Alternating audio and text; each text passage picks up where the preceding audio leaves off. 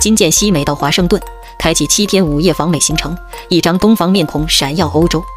韩国总统尹锡悦在接受采访的时候表示，最幸福的事情就是能见到妻子金建熙。虽然韩国第一夫人已经五十岁，但却被丈夫宠成小公主，幸福的人生令人羡慕不已。在自己五十一岁的时候，尹锡悦才跟金建熙步入婚姻的殿堂。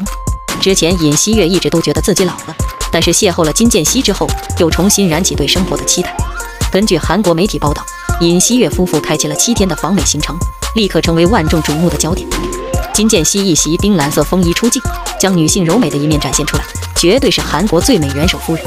目前，金建熙是艺术展览公司的经营者，跟尹锡悦结婚多年，却一直没有孩子。每次外访的时候，尹锡悦夫妇总是手牵手秀恩爱，让我们看到爱情最美好的样子。金建熙的穿搭可谓是一绝，任何造型都能轻松驾驭，果然是十足的衣服架子。访问美国期间，五十岁的金建熙信心满满，相信会为我们奉献更多经典造型。韩国第一夫人是妥妥的七零后，已经是妥妥的奶奶辈，但是从脸上根本看不出来。这款蓝色的风衣剪裁独特，既减龄又优雅，简直是为金建熙量身定做的。看来此次造型花费了不少心思。金建熙原来走优雅路线，现在却爱上了学院风。不少读者纷纷感慨，韩国第一夫人一点都不显老，甚至像极了大学校花。从细节方面也能看出，尹锡悦夫妇很恩爱，下专机的时候全程手牵手。就算已经结婚十多年，韩国总统夫妇还是这么甜蜜。小编不禁想问，婚姻保鲜的秘诀是什么？韩国第一夫人端庄优雅，全程都保持着淡淡的微笑，让我们看到元首夫人的最佳状态。小朋友们献花的时候，韩国第一夫人也九十度弯腰，礼貌的样子得到众人的好评。金建熙是十足的东方面孔，但是五官立体，身材纤细，即使放在欧洲白人当中，韩国第一夫人也格外出彩。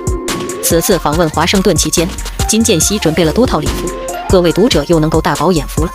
尹锡悦夫妇通过京畿道城南市首尔机场出国，开启七天的访美旅程。韩国总统夫妇即使没有孩子，但是感情依旧很不错，看来他们才是妥妥的灵魂伴侣。根据韩国媒体报道。金建熙夫妇养了六只狗和五只猫，大部分都是收养的流浪动物。韩国第一夫人真是人美心善，除了照顾这些毛孩子外，还要替丈夫出席慈善公益。不得不感慨，金建熙真是不老女神，保养的简直没话说，简直三百六十度无死角。看来爱情才是最好的保养品。金建熙拥有富足的物质生活，还被总统丈夫宠上天，难怪人到晚年依旧这么惊艳。自从当上韩国第一夫人之后。金建熙一直承受着巨大的压力，甚至数次被推上风口浪尖。但是她不光没有退缩，反倒用更饱满的态度对待生活，连轴转出席各种慈善公益。每次尹锡悦总统外访的时候，金建熙都跟在身边。即使是老夫老妻，还能做到蜜里调油，在镜头面前公开秀恩爱，让广大读者再次相信爱情。